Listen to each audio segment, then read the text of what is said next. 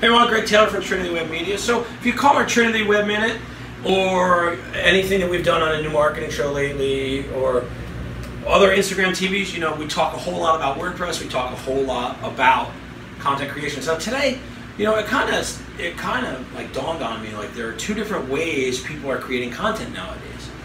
You know, a lot of people are creating content based on research. A lot of people are creating content based on observations and hypotheses and experience and best practices and intuition, all of that great stuff. And I absolutely love that. You know, we write a lot of articles that are very tactical and very practical when it comes to how to do something, why to do something, you know, the theory and the methods behind it. And that's great, great, great evergreen content. The other type of content that we I, I really, really enjoy and that I'm drawn to is when people are documenting content. You know, somebody like Gary Vaynerchuk is fantastic at documenting content. Tim Ferriss, very, very good at documenting content.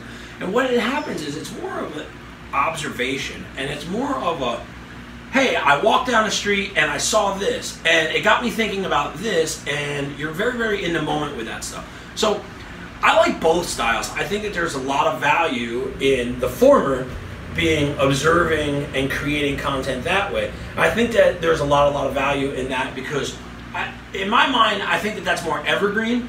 And what's going to happen is that's going to stand a test of time as long as the platforms stay the same, et cetera, et cetera. The methodology and the psychology of marketing are pretty much always going to be the same, but you have to make pivots based on the platforms to which you're broadcasting. That's important. You have to pivot for each platform based on psychology.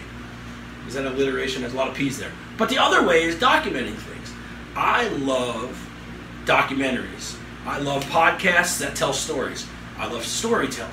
So, like, that's more of the observation and documenting content. So, I think it's important for you to do a couple of things. One, recognize which you prefer and what your customers prefer. Two, recognize where you're pushing this content out to and to what platforms and to you know how it's going to be received. And then the other thing, and the big thing is, what's the goal?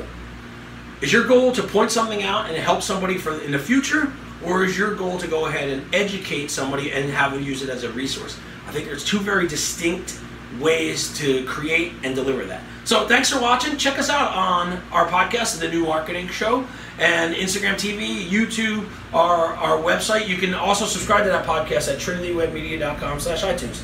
Thanks for watching. See you next time.